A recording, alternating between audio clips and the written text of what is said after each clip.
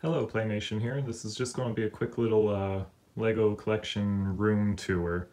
Uh, part one, this is one of my two rooms. It's actually at my parents' house. Uh, I've moved out, but my house is kind of small, so they let me keep a lot of my LEGO here. And this is kind of where I like to keep a lot of my nicer displays out.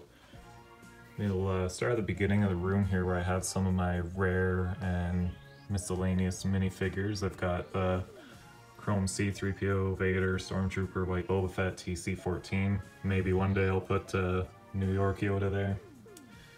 And some other characters that don't really belong, like the yellow Hoth and Han Leia and logoed uh, troops and smooth hair Leia.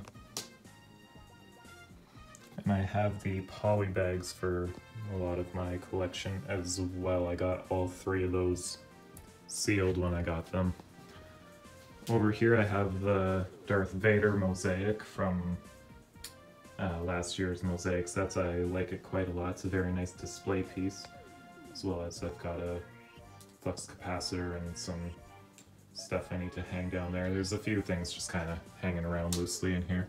Up here I've got Jerac's uh, TIE Advance and TIE Fighter MOC, as well as the buildable Yoda set. Mine is modified. I gave it a necklace and cane, more like how you see them in Empire Strikes Back. Over here is uh, R2-D2 and BB, or BB-8 with the May 4th promos for the two of them. Here's Jerac's X-Wing, which I've also modified, but mostly still the same. It's a very nice model. And here's the original 2003 Cloud City. I also have the new Bespin car with it as well. I have the newer version of the set, but it's been taken down and used for my Bespin MOC. And down here I've got the original AT-AT and uh, second Snowspeeder. Those two go together really well. Over here, I've got my original trilogy minifigure collection. It starts with Luke and goes all the way over here. Um, if I were to take these two stands off the shelf, it kind of starts here, zigzags down, and then keeps going down there. I've got every uh, figure that LEGO's made so far for the original trilogy, Cloud City, Boba Fett there. Um, the only figure I'm currently missing is the A-Wing pilot from the UCS A-Wing that came out last year. And then the collection stops here at 2020. I'm kind of out of space on my stands now. I've got uh, 2021 figures starting to go here. I'm thinking that uh, I'll probably just start making stands for each year after this and either keep this the way it is or uh, maybe arrange them all by year one time. But right now I've got it all by character and I like that quite a bit. It's nice to see the evolution of all the minifigures. And down here I have all of the prequel minifigures. Um, again, I'm only missing a couple of the more recent ones. There's a trooper that came in General Grievous's Starfighter this year. I think that's the only figure I'm missing right now. Um, I've also got a couple random Clone Wars figures I just happen to have. I don't really plan on collecting all of the Clone Wars, but maybe I will. I have some of the figures. And down here I've got some May 4th promos and kind of other miscellaneous uh, sets and whatnot. I've got the Tantive 4 here, as well as Jerac's TIE Bomber and the UCS Y-Wing. Up here we've got all the 20th anniversary minifigures, as well as the Han Solo Frozen Carbonite keychain. Uh, Boba Fett bust, I plan on getting the other two uh, helmets. And uh, Slave 1 Millennium Falcon and Imperial Shuttle, as well as the uh, Bespin Duel promotional set from last year. I like that set quite a lot. Um, I am missing some stuff off these shelves. Usually I also have Jerac's A-Wings here, as well as the Space Slug promo and uh, the Luke and Han Solo uh, Death Star rescue set. Those are over at my place right now. Um, things kind of rotate back and forth between the two locations, but um, yeah, keep going on. Up here we've got an ATST MOC um, with a custom stand. These stands come with the planet sets. I like using them quite a bit to display the ships that they go with. Um, got some custom speeders here, as well as the buildable figure Scout Trooper speeder bike set. It's the only type of that set I have. I like it a lot. It's a nice display piece. And here I have some non-LEGO Back to the Future stuff. My Nike Air Mags, Pepsi Perfect bottle if you're into Back to the Future. Um, you might enjoy all this stuff uh, or know how rare some of it is. Over here I've got um, quite a lot of movie posters. Um, got my Avengers poster here. It's signed by all the main cast and Stan Lee and others. Um, I love that poster. I'm really glad I have it. And over here we've got some other minifigures. I've got Star Wars BrickHeadz, uh, High Ground MOC, some more BrickHeadz, um, and then a bunch of minifigure collections. We've got uh, SpongeBob, Star Wars holiday figures, um, Simpsons, 60s Batman, uh, Force Awakens, Indiana Jones, Ghostbusters, the original line of Batman figures, Scooby-Doo, uh, X-Men.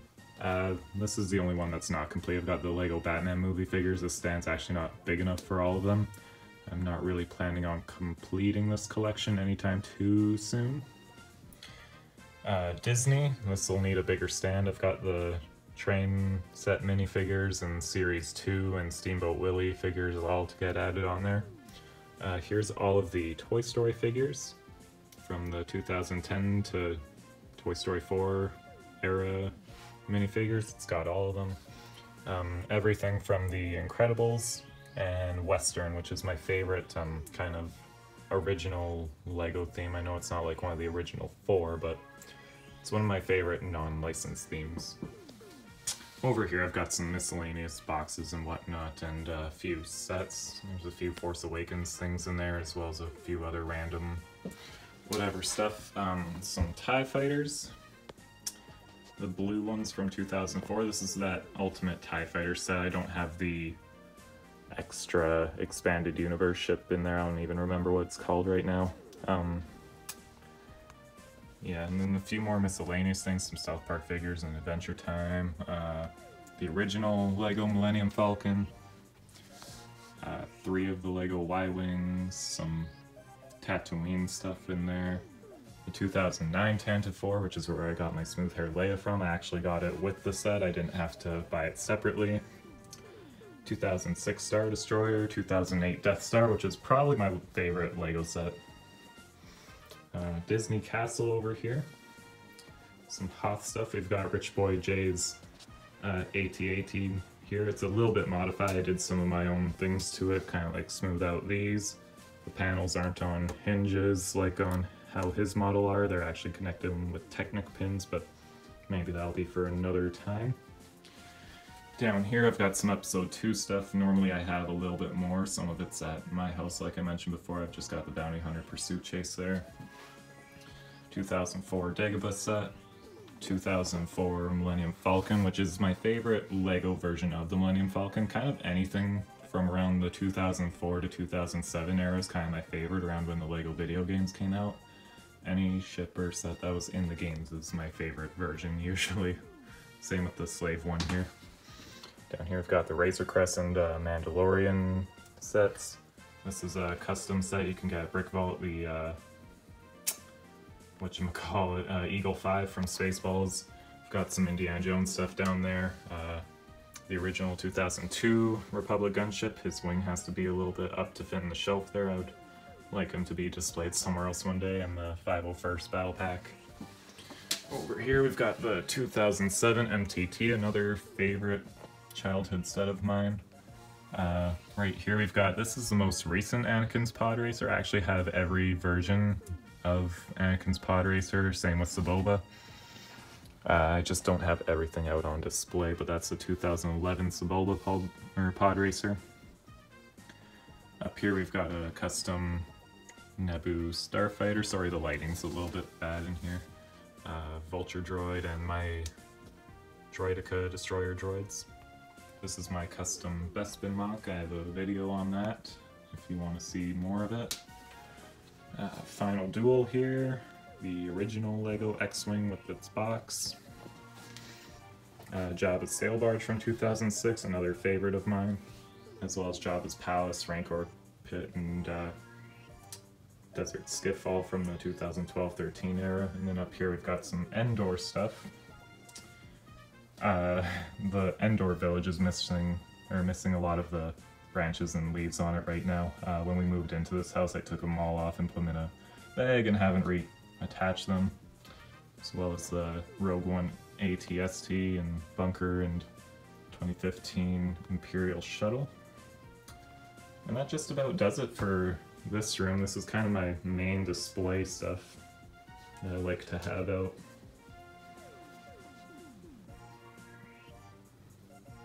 And there is just a little bit more to show you.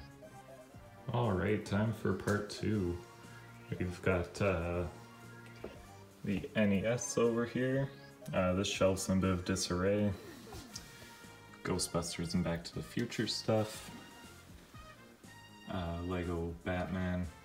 And I have my Imperial Shuttle, or not Imperial Shuttles, uh, Star Destroyer here taken apart. I just finished uh, shooting some scenes with it a couple weeks ago for my uh, Lego Star Wars movie, so he's just waiting to get put back together. Uh, he's just sitting there comfortably in the meantime. He's got some parts up here. There was stuff on display on the shelf, but not currently.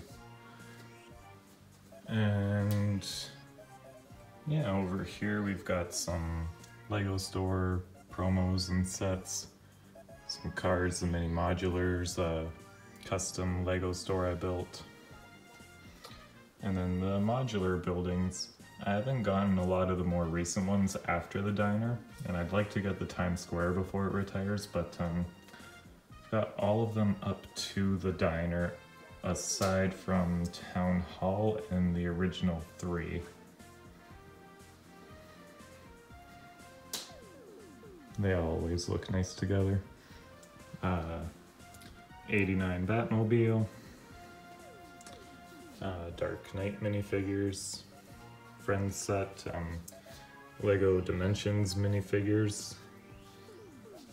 Uh, all my Marvel MCU figures. Jurassic Park, I made that when the one set came out, but now there's a lot more to collect, so I'll need to expand that. And then some Old West sets. Uh, Simpsons house down here, as well as some other stuff. This is a custom build from when they did the Lego couch gag. Uh, Kwik-E-Mart. Mickey and Minnie mosaic. I've got a Buzz and Woody here. And then this is a TIE Interceptor that needs to make its way into the other room there. And these are my 1999 Pepsi cans from when Pepsi did a promotion for Phantom Menace.